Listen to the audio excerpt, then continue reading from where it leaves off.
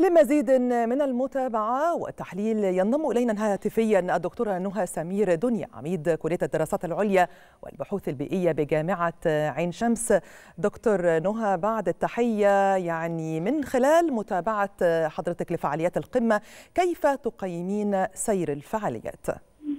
آه والله هو حدث جلل أنا فخورة بالمؤتمر وفخورة بما حدث داخل المؤتمر وبالإرادة السياسية زي ما حضرتك قلتي إن آه الرئيس عبد الفتاح السيسي فخامة الرئيس عبد الفتاح السيسي هيمد المؤتمر اليوم لأن التصميم على إنه يكون آه مؤتمر تنفيذ وليس معاهدات فقط وده كل بفضل الإرادة الخاصة بالحلول في جميع المجالات وكانت واقعية حلول واقعية جدا وتجارب فعلا مصر عملتها وأظهرتها داخل المؤتمر.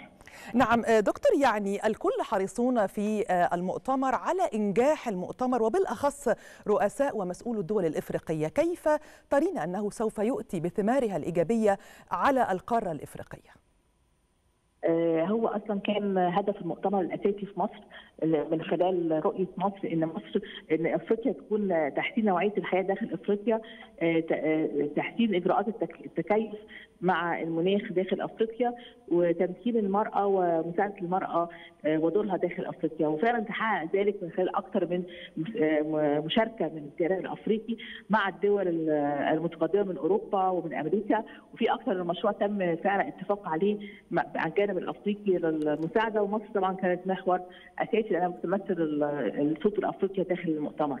فأعتقد إن هيبقى كله أثر جامد جدا على أفريقيا وإحنا عندنا برضه سفير المناخ الأفريقي وكيفية الجامعات ودور الاكاديميا في رفع الوعي داخل أفريقيا واشترك نعم. معنا أكثر من سفير مناخ في أفريقيا وقدموا عبر تقنية الزوم عن بعد مشاكلهم ورأيهم وكانت جلسة ممتعة جدا بدور الشباب في أفريقيا وكيفية نشر الوعي في في قارة أفريقيا والتغير المناخي.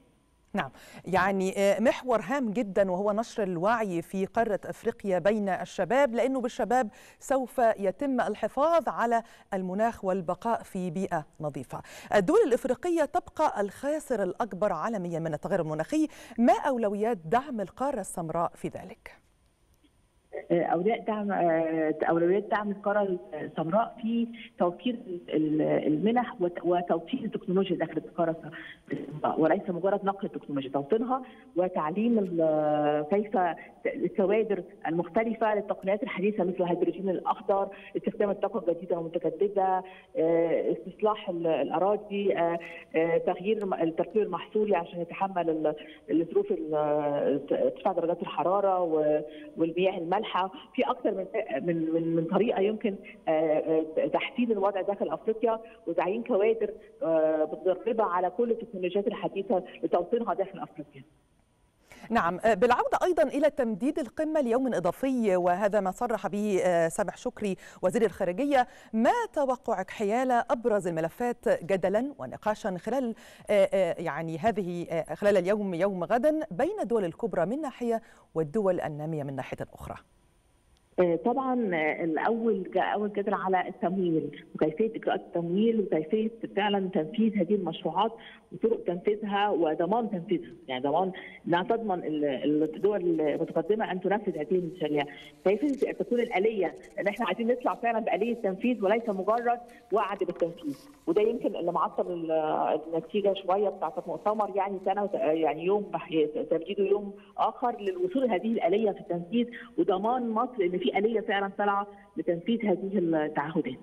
نعم يعني هناك بعض التصريحات التي استوقفتنا خلال مؤتمر المناخ وبالأخص يعني قال ممثل دولة النرويج أنه لابد من تحقيق مبدأ الخسائر والأضرار مؤكدا على أنه لن يغادر شرم الشيخ دون الاتفاق على هذه النتيجة وأيضا هناك تصريحات مختلفة من من يعني مسؤول غانا وغيرها من البلدان المشاركة في المؤتمر كيف تري مثل هذه التصريحات ودورها في إحداث حراكا وتأثيرا على التوصيات غدا؟ طبعا النرويج من الدول المتعاونة جدا الاتفاقية بتاعت الهيدروجين الأخضر مع مصر وكيفية وضع البروتوكول الخاص بتنفيذ هذه الاتفاقية ويجب فعلا اعتراف الدول المتقدمة ودي الميزة في هذا المؤتمر عن أي مؤتمرات أخرى اعتراف الدول المتقدمة بمدى الخسائر التي تعرض عليها تعرضت لها الدول النامية من ظاهرة التغير المناخي.